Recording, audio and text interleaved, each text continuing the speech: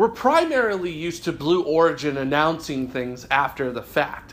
But at a recent conference, they actually have released new details about their rocket, New Glenn, and potential customers. And this is your Space Pod for March 14th, 2017.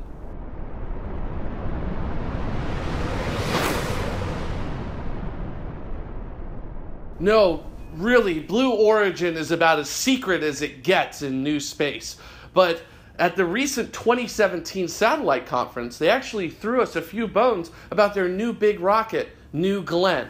An impressive vehicle, the two stage variant of the New Glenn rocket stands at 270 feet tall, with a three stage variant standing in at 313 feet tall. The first stage will be powered by a cluster of seven BE4 engines, a liquid natural gas, liquid oxygen, stage combustion rocket engine, which is being designed and built in house at Blue Origin. The BE4 will put out 550,000 pounds of thrust, making for a total at liftoff of 3.85 million pounds of thrust. And the second stage will use a single BE4 engine. New Glenn in its two stage configuration can lift nearly 13 metric tons to geostationary transfer orbit. However, if your destination is a bit closer in low Earth orbit, expect that payload delivered to go up to a whopping 45 metric tons. And the three stage configuration will likely be reserved for deep space payloads. And since all the cool kids are doing reusability nowadays, the first stage of New Glenn is designed to be fully reusable.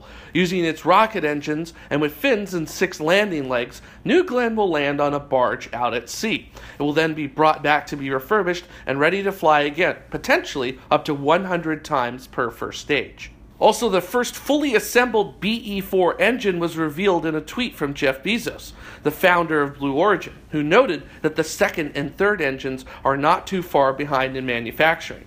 It's expected that the first full hot fire test will be conducted by the end of the year. And that's not all the good news that Blue Origin announced at the 2017 satellite conference. They actually have two customers lined up to fly. French based Eutelsat has announced that they're going to fly one of their satellites to geosynchronous orbit on a new Glenn as soon as 2021. Now, this is a big win for Blue Origin because Eutelsat is one of the three largest providers of communications from space. In addition, startup OneWeb has announced that they will launch some of their 900 satellite constellation to low Earth orbit on a new Glenn. And OneWeb, of course, is going to be providing internet access from satellites in low Earth orbit. If you're like me and a big fan of multiple companies coming together in order to compete in spaceflight, then this announcement was a big deal and also a very exciting one as well. And it's very nice that Blue Origin is starting to become a little more public instead of that secret one that isn't going to tell you anything about what they're doing. Jeff, if you're watching, thanks for being less secret. It gets everybody a little more excited about the future of spaceflight. Thanks for watching the Space Pod. I'm Jared Head. What do you think of Blue Origin's new rocket and some of their customers? Well, let us know in the comments below. And of course, you can reach TMRO on our various social media outlets such as Twitter, Facebook, and Reddit. And of course, a huge, huge thank you to all of our Space Pod Patreon patrons.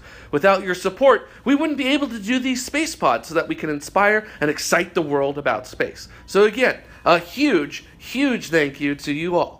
So, until the next space pod, keep exploring.